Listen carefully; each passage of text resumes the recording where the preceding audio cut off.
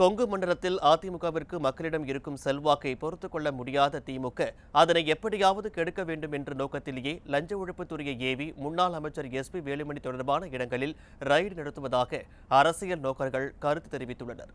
தமிழகத்தில் கடந்த ஆண்டு நடைபெற்ற சட்டமன்ற தேர்தலில் பல்வேறு பொய் வாக்குறுதிகளை அளித்து திமுக ஆட்சி பொறுப்பேற்ற போதும் அதன் முதல்வர் ஸ்டாலினுக்கு கோவையில் வெற்றி பெற முடியாதது பெரும் ஏமாற்றத்தை தந்தது. இதனால் ஆட்சி பொறுப்பேற்றவுடன் முதல் வேலையாக கோவையை பிடிப்பதற்கு பல்வேறு பல்வேறு ஸ்டண்டுகளை ஸ்டாலின் செய்து பார்த்தார். திமுகவின் ஏமாற்று வேலையை நன்கு அறிந்த மக்கள் அதிமுகவிற்கே உறுதுணையாக இருந்து வருகின்றனர். இதனால் ஆத்திரமடைந்த விடியா அரசின் முதல்வர் லஞ்ச ஒழிப்புத்துறையை ஏவி அதிமுக கொறடாவும் முன்னாள் அமைச்சருமான எஸ் பி வேலுமணி தொடர்பான இடங்களில் ரைடு நடத்தி வருகின்றனர். அரசியல் காழ்ப்புணர்ச்சி காரணமாக பல்வேறு பொய் குற்றச்சாட்டுகளை முன்வைக்கும் விடியா அரசு எப்படியாவது அதிமுகவிற்கு களங்கம் ஏற்படுத்த வேண்டும் என்ற நோக்கில் அராஜகத்தில் ஈடுபட்டு வருகிறது.